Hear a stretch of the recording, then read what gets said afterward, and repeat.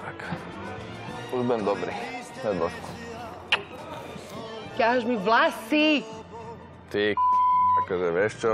Však ale veček škutuješ ma, čo ti mám povedať? Tak ja nadávaš mi, že furt iba 25 nadávam a 20 chy- chytím ťa a teraz mi povieš, že za vlasy. 25 minút tu do mňa húčiš. To nebudem mať ťa ani Mi chytať tu do náladu celú gondolu si a zrazu posledných 5 minút, jojha, no nemyslíš si, že keď vystúpime, že sa pôjdeme najesť, že budeš 5 minút na mňa dobrý. To určite. Už comeback?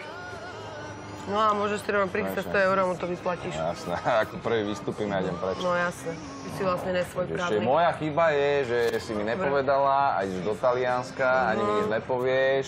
Áno, A moja chyba je, že hej, si nesvoj právny a nevieš proste, sa dojdi rýchlo pre nás, tak to je moja chyba úplná. Dobre.